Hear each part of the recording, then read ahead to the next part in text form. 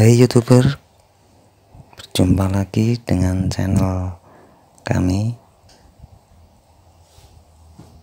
Ini saya membuat pohon bunga sakura warna ungu. Untuk pohonnya ini sudah saya lubangi terlebih dahulu Untuk menyingkat waktu ya. Seperti biasa pemasangan dimulai dari atas eh, ke bawah. Ya, untuk atas ini kasih bunganya tangkai agak panjang seperti biasa.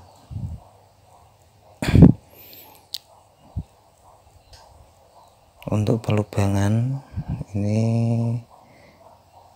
nanti ada tambahan-tambahan pelubangan maksud saya e, menyesuaikan bagaimana bagusnya gitu.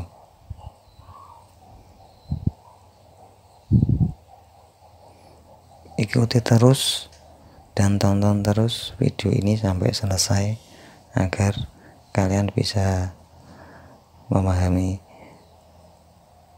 eh, posisi-posisi yang bagus penempatan bunganya ini di mana. Check